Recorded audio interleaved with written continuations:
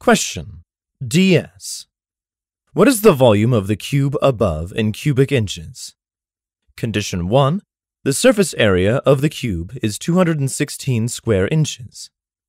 Condition 2. The length of the diagonal of the cube is 6 times square root of 3 inches.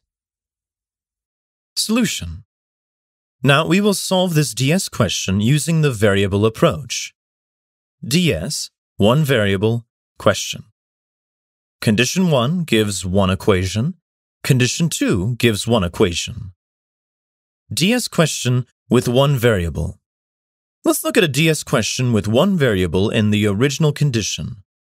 Now, one variable would generally require one equation to find the value of the variable. We are aware that each condition should give us an equation, and each equation should be able to give us the value of the variable. So, each condition should be sufficient independently, and we should logically get an answer D. Let's apply the three steps suggested previously. Follow the first step of the variable approach by modifying and rechecking the original condition and the question. We have to find the volume of the given cube. Let A represent the length of each side of the cube, so the volume of the cube equals A cubed, as shown in the figure above. Follow the second and the third step from the original condition. We have one variable, A, to match the number of variables with the number of equations, we need one equation.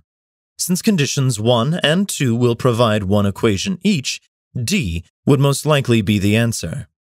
It is 60% likely that the answer would be D if a cube question like this appears in the actual exam, because the number of variables is 1. You should never use the conventional approach suggested by the official guide. It is way too inefficient. Recall three principles and choose D as the most likely answer. Let's take a look at each condition separately to see how this works. Condition 1 tells us that the surface area of the cube is 216 square inches. As the surface area of a cube is 6 times the area of each face. Area of each face equals A times A equals A squared surface area equals 6 times of a squared. Putting this into equations, we get 6 times a squared equals 216. So, a equals plus minus 6. But the length cannot be negative, so a must equal 6.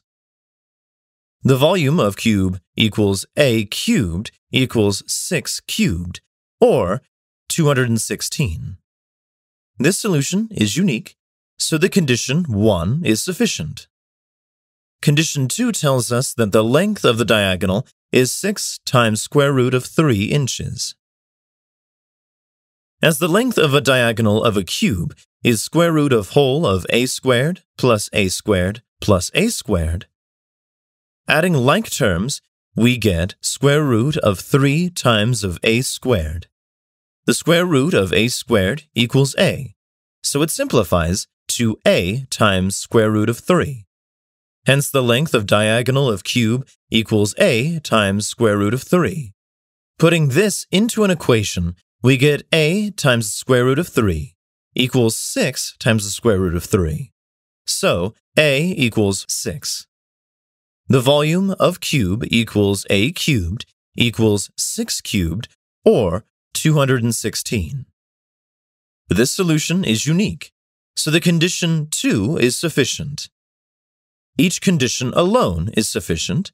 The answer is obviously D if there is one variable given in the original condition. So D is the correct answer. Answer D.